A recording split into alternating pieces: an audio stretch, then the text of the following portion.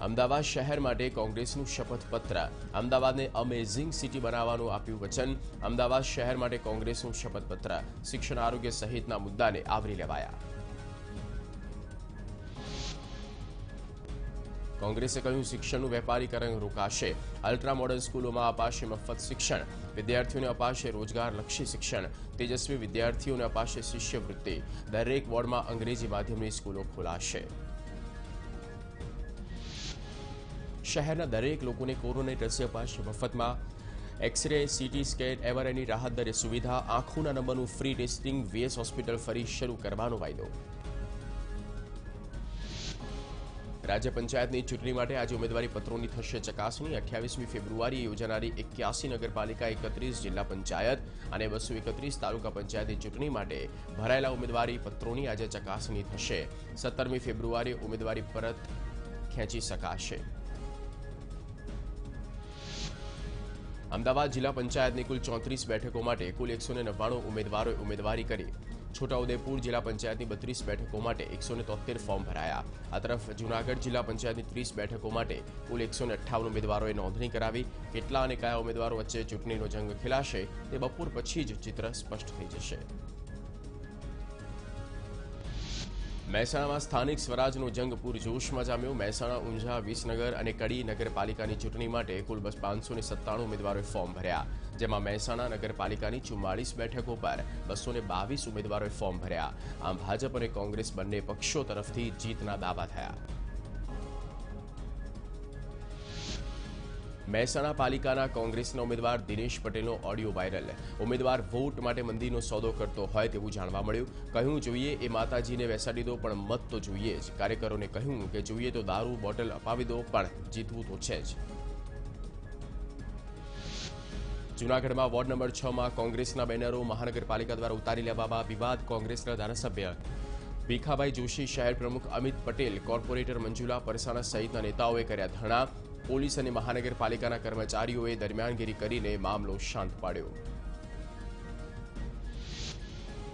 સ્થાનિક સ્વરાજ્યની પ્રજા યોજાનારી ચૂંટણીને લઈને વહીવટીતંત્ર અને પોલીસ વિભાગ સજ્જ થયું છે. તૈયારીઓના ભાગરૂપે જૂનાગઢમાં પોલીસ એલર્ટ પર શહેરના જાહેર માર્ગો પર પોલીસે કર્યું ફ્લેગ માર્ચ.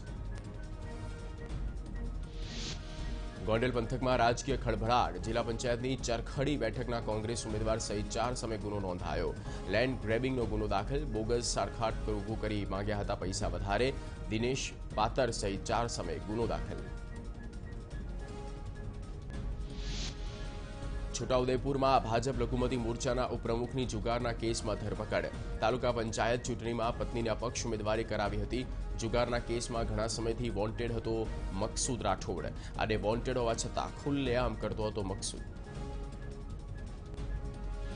રાજ્ય સરકાર હવે ધોરણ એકથી પાંચના ક્લાસ પણ નિયમિત કરવાની તૈયારીમાં ચૂંટણી બાદ માર્ચમાં સ્થિતિને ધ્યાનમાં રાખીને સરકાર લેશે નિર્ણય કોરોનાના કેસમાં ઘટાડો થતાં વાલીઓમાં પણ હવે ડર દૂર થયો ભુજમાં ટ્રાન્સપોર્ટરો હડતાલ પર ઉતર્યા ખાણ ખનીજ વિભાગ દ્વારા કરવામાં આવતી દંડાત્મક કાર્યવાહીનો ટ્રાન્સપોર્ટરોએ વિરોધ નોંધાવ્યો ટ્રાન્સપોર્ટરોનું કહેવું છે કે રોયલ્ટી ભરી રેતી ખનીજનું પરિવહન કરતા ટ્રકોની સામે ખાણ ખનીજ વિભાગ લાખો રૂપિયાનો દંડ ફટકારે છે તેમના મોબાઈલ ફોન પણ અધિકારીઓ ઝૂંટવી લે છે આરટીઓના વાહન તપાસીનું કાર્ય તેમનામાં ન આવતું હોવા છતાં પણ ખોટી રીતે તેમને પરેશાન કરવામાં આવી રહ્યા છે અમદાવાદમાં વગર ચોમાસે પડ્યા ભૂવા ગીચ વિસ્તાર એવા પાનકોર નાકા વિસ્તારમાં ભૂવો પડ્યો છે જેના કારણે સ્થાનિકોને ભારે હાલાકીનો સામનો કરવાનો વારો આવ્યો ભૂવાના કારણે ટ્રાફિક જામની સ્થિતિ સર્જાઈ મુન્દ્રા કસ્ટોડિયલ ડેથ કેસમાં એક પોલીસકર્મીની ધરપકડ ગુરુજી ઠાકોરની ધરપકડ બાદ કચ્છ પોલીસની ટીમ કબજો લેવા રવાના ચોરીના આરોપમાં ત્રણ યુવાનની ફરિયાદ વિના કરાઈ ધરપકડ જેમાં બે યુવાના થયા હતા મોત અમદાવાદ રિલીફ રોડ પર આવેલા મોબાઈલ માર્કેટની એક દુકાનના કર્મચારીઓએ લાખો રૂપિયાનો સામાન ચોરીને વેચી દીધો હોવાનો પણ પર્દાફાશ વેપારીએ બે કર્મચારી વિરુદ્ધ ફરિયાદ નોંધાવતા પોલીસે આ બંનેની કરી ધરપકડ આ કર્મચારીનું ચોરી કાંડ સીસીટીવી કેમેરામાં કેદ થઈ ગયું હતું નવસારી એલસીબીને મળી મોટી સફળતા નેશનલ હાઈવે અડતાલીસ પરની લૂંટની ઘટના ઉકેલાઈ વોચ ગોઠવી લૂંટ કરતી ટોળકી ઝડપાઈ ત્રણ આરોપીને પકડી ત્રણ લાખ બ્યાસી હજારનો મુદ્દામાલ જપ્ત કર્યો લૂંટ વિથ મર્ડરના ગુનાનો આરોપી ઝડપાયો. આણંદ એલસીબીએ છવ્વીસ વર્ષથી ભાગડુ આરોપીની કરી ધરપકડ. ઓગણીસો ચોરાણુંમાં થયેલા ગુનાના ઝાબુઆના રહેવાસી આરોપી રૂમાલ રૂમાલસિંહને બાતમીના આધારે કરવામાં આવી ધરપકડ.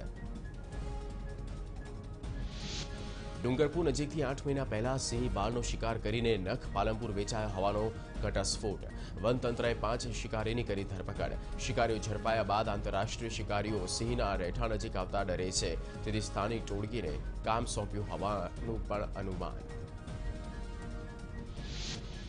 જૂનાગઢના ડુંગરપુર નજીક સિંહ બાળના શિકારમાં સંડોવાયેલી ટોળકીને શિકાર ટોળીને આંતરરાજ્ય શિકારી ટોળકીએ કામ સોંપ્યાનું અનુમાન સ્થાનિક શિકારીઓ અને તેમની સાથે સાંઠગાંઠ ધરાવતા આંતરરાષ્ટ્રીય શિકારીઓની તપાસ કરાશે